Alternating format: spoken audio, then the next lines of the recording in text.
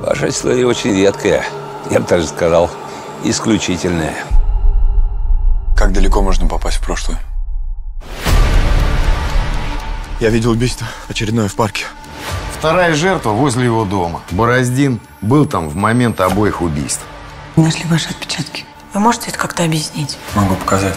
Это отрезок пространства-времени, который определенным образом искривлен. Серега следака склеил. Колея формируется там, где есть как минимум три смерти. Почему вы весь мокрый?